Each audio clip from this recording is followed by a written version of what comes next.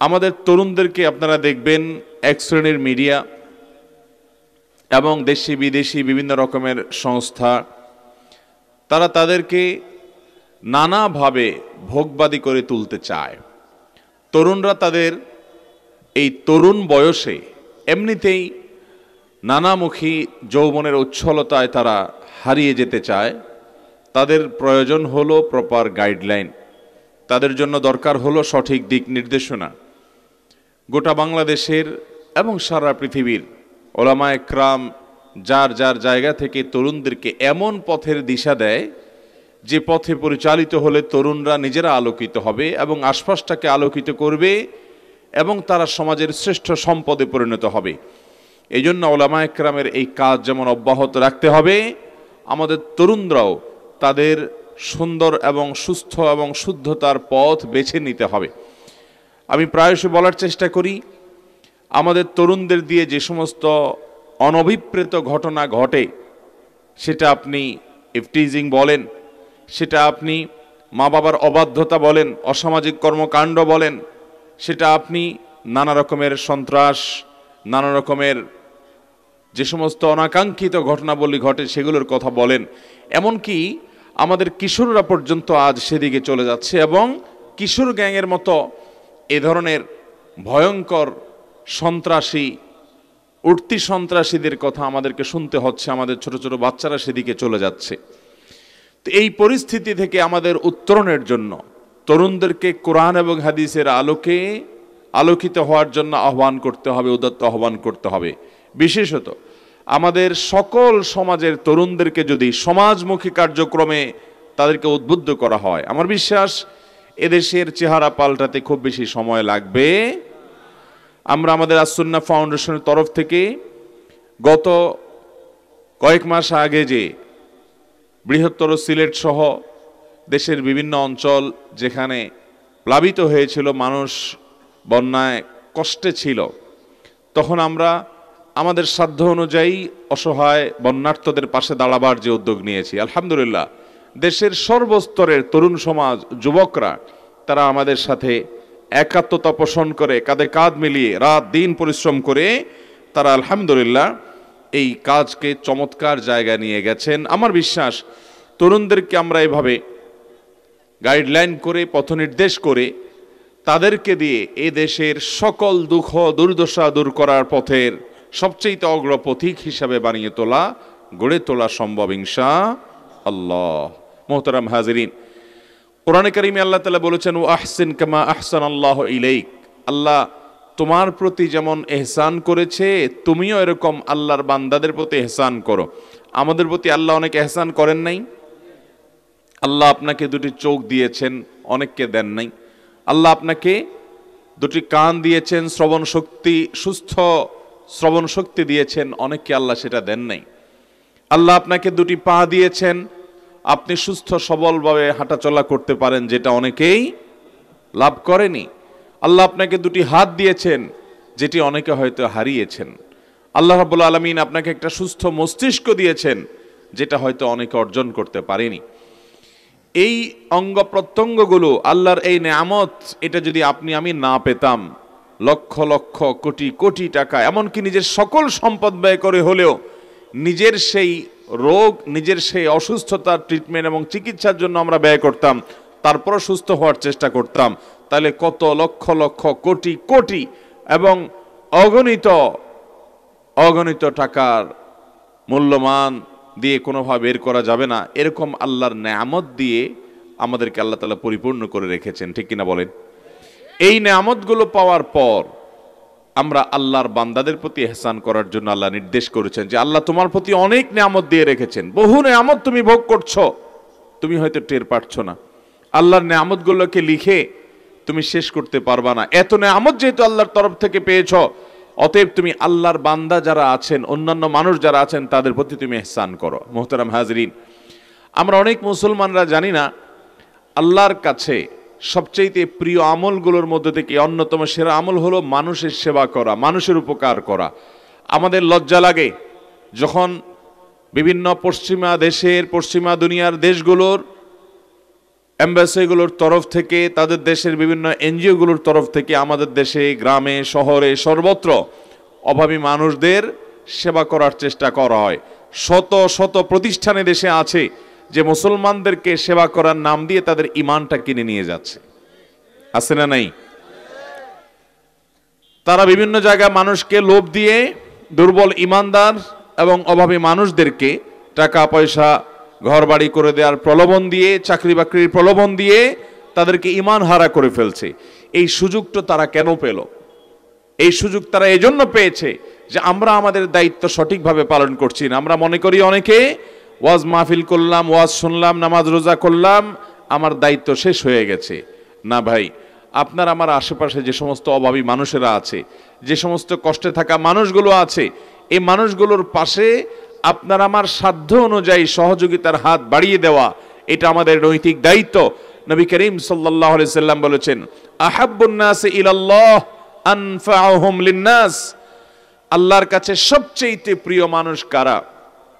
যে মানুষগুলো অন্যান্য অভাবগ্রস্ত, দুর্দশাগ্রস্ত, দুর্গত, অভাবী এবং কষ্টে থাকা মানুষগুলোর জন্য উপকারী হয়, পরোপকারী হয়, মানুষের উপকার করার চেষ্টা করে।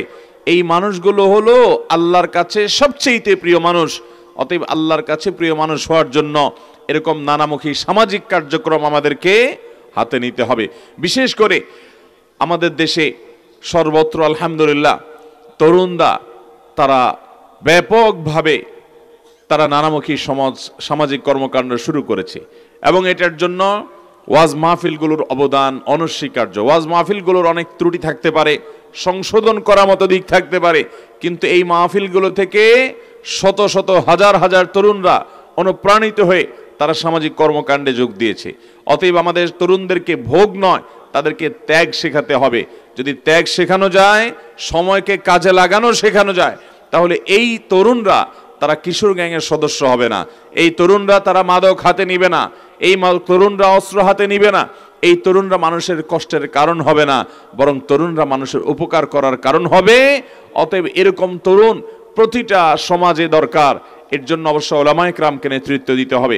মসজিদগুলো থেকে মসজিদের ইমাম সাহেব, খতিব সাহেবরা নিজ নিজ এলাকার তরুণদেরকে ডেকে নিয়ে তাদেরকে মিটিং করে, তাদেরকে আল্লাহর ঘরমুখী করে, তাদেরকে দিয়ে সামাজিক নানা উদ্যোগ গ্রহণ করতে হবে। রাস্তার ময়লা পরিষ্কার করার জন্য সামাজিক উদ্যোগ নেওয়া যেতে পারে। মশা নিধনের জন্য সামাজিক উদ্যোগ তরুণদের নেতৃত্বে নেওয়া যেতে পারে। অভাবী মানুষদের তালিকা প্রণয়ন করে, সম্পদশালীদের তালিকা প্রণয়ন করে, সম্পদশালীদের কাছ থেকে অর্থ নিয়ে স্বচ্ছতার সাথে জবাবদিহিতা নিশ্চিত করে এলাকার মান্যগণ্য মুরব্বীদেরকে সাথে নিয়ে দেশের আইন শৃঙ্খলার যথাযথ নিয়ম অনুসরণ করে আমরা যদি প্রত্যেকটা মসজিদ থেকে এরকমভাবে উদ্যোগ নেই এবং মসজিদ কেন্দ্রিক তরুণদেরকে যদি আমরা উদ্বুদ্ধ করি, শুধুমাত্র সহযোগিতামূলক কর্মকাণ্ড নয়, তাদের জন্য নানামুখী ক্রীড়া কৌতুকের ব্যবস্থা থাকতে হবে, তাদের জন্য নানা রকম আনন্দের উপলক্ষ থাকতে হবে। মসজিদগুলো যদি নেতৃত্ব দেয়, ইমাম খতিবরা যদি নেতৃত্ব দেন, তাহলে আমাদের যুবকরা তারা একাই এই সমাজের চেহারা বদলে দেবে ইংসা আমাদের এই সমাজের অভাবী মানুষদের অভাব দূর করার নাম করে তাদেরকে ধর্মান্তরিতকরণের এই এই জঘন্য কর্মকাণ্ড করার আর দুঃসাহস পাবে না বিদেশি এনজিওগুলো হিংসা কিন্তু আমাদের দায়িত্ব অনেক, ভাইরা আমার। আমি সব সময় বলার চেষ্টা করি। বিশেষ করে আজকের এই তরুণদের এই, তাদের চমৎকার যে নানামুখী উদ্যোগ তারা গ্রহণ করেছে বলে তারা জানিয়েছে। এরকম আরও বিভিন্ন জায়গায় মাহফিলে গেলে যুবকরা যখন বলে যে হুজুর, আমরা সামাজিকে কাজ করেছি, অমুক কাজ করেছি, আমি তাদেরকে অ্যাপ্রিসিয়েট করি, আমি তাদেরকে স্যালিউট জানাই। এরাই আমাদের ভবিষ্যৎ এবং এরাই হলো আদর্শ মুসলিম তরুণ, শুধুমাত্র ব্যক্তিগত ইবাদত বন্দী করলে হবে না, ইবাদত বন্দী তো করতেই হবে। তার পাশাপাশি সমাজের অভাবী মানুষের অভাব দূর করার জন্য আমাদের তরুণদেরকে জাগতে হবে ইংসা জাগতে রাজি আছেন তো আপনারা? মনে রাখবেন, ভোগে আনন্দ আছে, কিন্তু ত্যাগের আনন্দ তার চাইতে অনেক বেশি। ডক্টর খন্দকার আবদুল্লাহ জাহাঙ্গীর রহমার এক ওয়াজে তিনি বলেছিলেন যে আপনি এক কেজি গোস্ত কিনে নিজে রান্না করে খেয়েছেন। আপনি মজা পাবেন, এতে কোনো সন্দেহ নাই, ভোগে স্বাদ আছে। কিন্তু আপনি একজন অভাবী মানুষকে দেখে সে কতদিন গোস্ত খায়নি আপনি জানেন, আল্লাহ আপনাকে প্রায় খাওয়ায়। সেজন্য আল্লাহকে খুশি করবার জন্য তাকে গোস্তগুলো দিয়ে দিলেন। এতে মনে হচ্ছে যে আপনি নিজে ভোগ করলেন না, কষ্ট পাবেন। কিন্তু তার মুখে যে হাসি দেখতে পাবেন এবং তার বাসায় বাচ্চাদের মধ্যে যে আনন্দ এবং যে উৎসব মুখর পরিবেশ তৈরি হবে, এটা দেখার পর আপনি নিজে খেয়ে যে আনন্দ পেতেন, আপনার মধ্যে আনন্দ তার চাইতে আরও বেশি হবে হিংসা অতএব ভাইরা আমার, আমরা মানুষের কল্যাণে কাজ করব তো। আমি প্রত্যেক এলাকার যুবকদেরকে উদাত্ত আহ্বান করতে চাই। আপনাদের ইমাম খতিবরা যদি নিজেরা না জাগে, আপনারা তাদেরকে জাগ্রত করেন। ইমাম সাহেব খতিব সাহেবদেরকে আপনারা উদ্বুদ্ধ করেন এবং বলেন যে, হুজুর, আপনি নেতৃত্ব দেন, আপনি আমাদের সাথে থাকেন। বিশ্বস্ততার সাথে, আস্থা এবং নির্ভরতার সাথে আমাদেরকে এই সমাজের মানুষের কষ্ট লাঘব করার জন্য কাজ করতে হবে, ইনশা সবাই রাজি আছেন তো? মনে রাখবেন, আল্লাহর কাছে প্রিয় মানুষগুলো হলো তারা যারা পরোপকার করে। নবী করিম সাল্লাল্লাহু সাল্লামের ঐতিহাসিক একটা হাদিস আসা আপনারা অনেকেই শুনেছেন, নবী আলাইহিস সাল্লাম বলেছেন মান্নাফাস আন মুমিনিন কুরবাতাম মিন কুরাবিদ দুনিয়া যে ব্যক্তি কোনো ইমানদারের দুনিয়ার কোন একটা কষ্ট দূর করার চেষ্টা করে, তার বিপদ লাঘবের দূর করার জন্য, তার কষ্ট লাঘবের জন্য একটু দৌড়াদৌড়ি করে। কারও চিকিৎসার জন্য তিনি দৌড়াদৌড়ি করছেন, আপনি একটু তার রোগীটার জন্য একটা গাড়ির ব্যবস্থা করলেন ডাক্তারের সাথে কথা বলে দিলেন, একটু হেল্প করলেন, সহযোগিতা করলেন, আগায় দিলেন। এরকম যদি কেউ করে, নাফাসাল্লাহ আনহু মিন কোরাবি ইয়াউমিল কিয়ামা। কিয়ামতের দিন আল্লাহ তাআলা তার নানামুখী বিপদ যখন সে তার হবে, আল্লাহ তালা সেগুলো দূর করে দিবেন দুনিয়াতে। এই মানুষের উপকার করার কারণে। এবং একইভাবে যে ব্যক্তি কোনো ঋণগ্রস্ত মানুষের ঋণ পরিশোধের জন্য চেষ্টা করবে, আল্লাহ রব্বুল্লা আলমিন আখেরাতে তার নানামুখী বিপদ দূরের জন্য আল্লাহ রব্বুল্লা আলমিন তাকে উদ্ধার করার জন্য আল্লাহ তালা ফয়সালা করবেন, ব্যবস্থা গ্রহণ করবেন এবং যে ব্যক্তি কোনো মুসলমানের দোষ, ত্রুটি এগুলো গোপন করে আল্লাহ তালা তার দোষ ত্রুটি গোপন করবেন। অতএব প্রত্যেকটা এলাকাতে, মসজিদে মসজিদে এবং প্রতিটা মাহফিলকে কেন্দ্র করে, মাদ্রাসাকে কেন্দ্র করে আমাদের তরুণদের জন্য নানামুখী উদ্যোগ গ্রহণ করতে হবে। আমি সৌদি আরবে দেখেছি, প্রায় প্রায় সকল মসজিদে বলতে পারেন, তরুণদের জন্য ক্লাব থাকে। এই ক্লাবে তরুণরা আসে, তারা এসে নানামুখী সামাজিক কার্যক্রম, এর জন্য তারা উদ্যোগ গ্রহণ করে। সে সমস্ত ক্লাবে বসে তারা পরামর্শ করে কীভাবে সমাজকে উপকার করবে এবং সেখান থেকে তারা নানামুখী ক্রীড়া, কৌতুক, আনন্দ, বিনোদন, সাংস্কৃতিক আয়োজন তারা মসজিদগুলোর পাশ থেকে করে। দুঃখজনক, আমাদের দেশে মসজিদগুলো থেকে সেরকম কোনো উদ্যোগ নেওয়া হয় না। আমাদের তরুণরা সেজন্য বিপদগামী হয়ে যায়, খারাপ দিকে চলে যায়। এই জন্য মসজিদগুলোকে যেরকম তরুণদের জন্য উপযোগী প্রতিষ্ঠান হিসেবে গড়ে তুলতে হবে। তাদের জন্য নানামুখী উইং এবং উইন্ডো খুলতে হবে। তাদের জন্য অফিস খুলতে হবে। তাদেরকে মসজিদ থেকেই তাদেরকে নেতৃত্ব দিতে হবে। তাহলে এই সমাজের অভাবী মানুষ এবং কষ্টে থাকা মানুষের কষ্ট লাঘব হতে আর সময় লাগবে না ইনশা। সবাই চেষ্টা করব তো। আল্লাহ তালা আমাদের তরুণদের সবাইকে জেগে ওঠার তৌফিক দান করুন। সকল ভালো কাজে তাদেরকে অংশগ্রহণ করার তৌফিক দান করুন। আপনারা সারা দেশে যত সেবামূলক সংগঠন আছেন তরুণদের, আপনারা সুসংগঠিত থাকবেন এবং মিলেমিশে, কাঁধে কাঁধ মিলিয়ে ওলামা একরাম, দিনদার এবং সমাজের গণ্যমান্য, সৎ, নেতৃত্বশীল মানুষগুলোকে সামনে রেখে আপনারা আপনাদের স্বচ্ছতা, জবাবদিহিতার সাথে মানুষের উপকারের জন্য বিভিন্ন রকমের উদ্যোগ গ্রহণ করবেন। টাকা পয়সা নাই, টাকা পয়সার কোনো প্রয়োজন হয় না। মনে রাখবেন সামাজিক উদ্যোগ গ্রহণ করার জন্য টাকাটাই মূল বিষয় নয়, বরং দরকার হলো আমাদের মন মানসিকতা। আপনি শারীরিক পরিশ্রম দিয়ে একটা কালভার্ট ভেঙে গেছে, একটা সাঁকো ভেঙে গেছে, মানুষের চলাচলে অসুবিধা হয়, বিশ জন যুবক মিলে সেটা ঠিক করে দেন, মনে রাখবেন, এগুলো শুধু তথাকথিত সামাজিক কাজ না, এগুলো ইবাদত, অনেক বড় ইবাদত।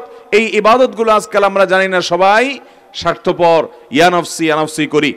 আমরা আজকাল সে দৃশ্য সমাজে দেখতে পাই না যে একজন মানুষ, বৃদ্ধ মানুষ, কোনো ভারী বোঝা, ভারী কোনো তিনি বস্তা নিয়ে কিংবা কোনো ব্যাগ নিয়ে, বাজার নিয়ে কোনো কিছু নিয়ে তিনি হাঁটাহাঁটি করছেন, কোনো জায়গাতে কোথাও যাচ্ছেন, তার কষ্ট হচ্ছে। সেরকম যুবক, সেরকম তরুণ খুব একটা দেখা যায় না যে গিয়ে বলে, চাচা, আপনার এই বোঝাটা আমি একটু বহন করে দেই।